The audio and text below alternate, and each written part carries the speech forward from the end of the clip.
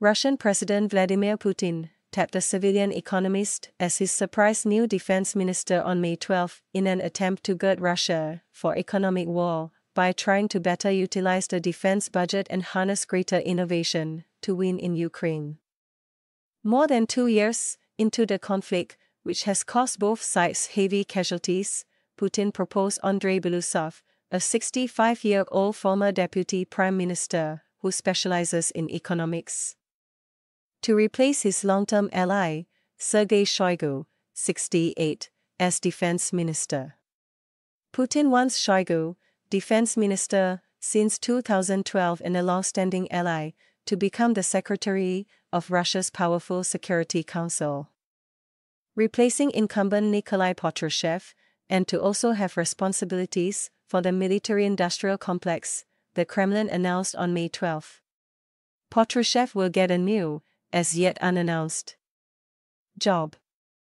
The changes, certain to be approved by parliamentarians, are the most significant Putin has made to the military command since sending tens of thousands of troops into Ukraine in February 2022 in what he called a special military operation.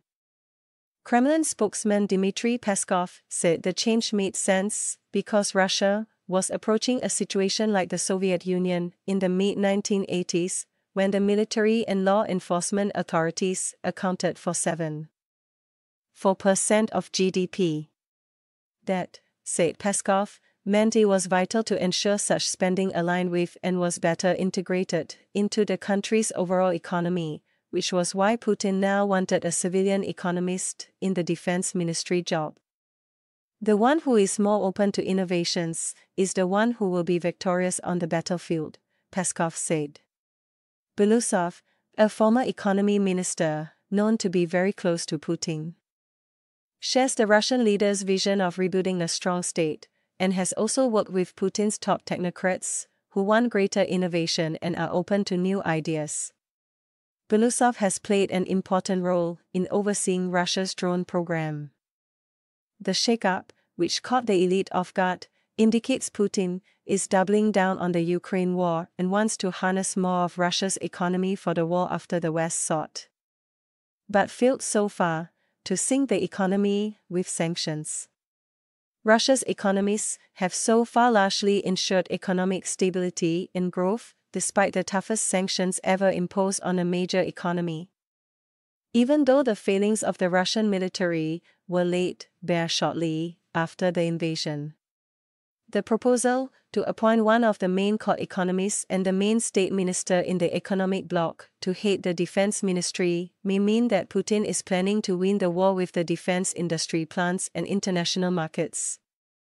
Said Alexander Baunov, a former Russian diplomat who is now a senior fellow at the Carnegie Russia Eurasia Center, the winning strategy in this case will not be mobilizations and breakthroughs, but slow pressure on Ukraine with the superior power of the Russian military industrial complex and the economy as a whole, which, apparently, is supposed to be made to work more effectively for the front and rear.